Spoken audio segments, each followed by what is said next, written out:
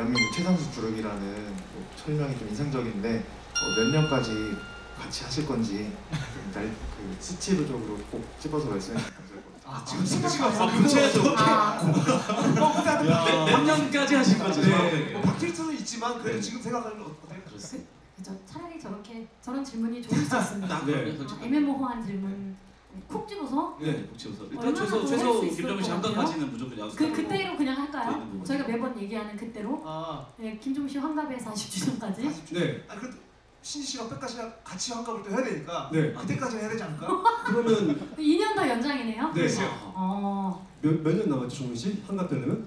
15년. 그거 비밀로 하시죠, 네. 아, 그러면 17년까지는 앞으로 하, 해보겠습니다. 지금부터 17년까지는 네. 일단 하, 하기 위해서 많이 노력하겠습니다. 네. 아, 네. 세 분이 모두 일단 환갑이 될 때까지는 최소. 네. 와 괜찮을까요? 아, 괜찮죠, 충분하죠. 네.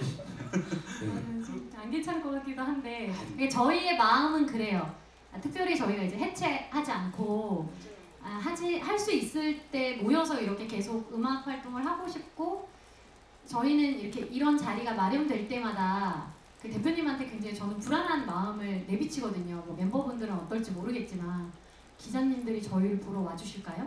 저는 약간 아. 그런 걱정이 그러니까 시간이 지날수록 음악에 대한 걱정도 마찬가지고 너무 오랫동안 이제 활동을 하는 저희에게는 여러 가지 그 우려들이 좀 많이 생- 더 생기는 것 같아요. 고민도 많아지고 생각도 많아지고 그래서 좀 해체 없이 길게 활동은 하되 네.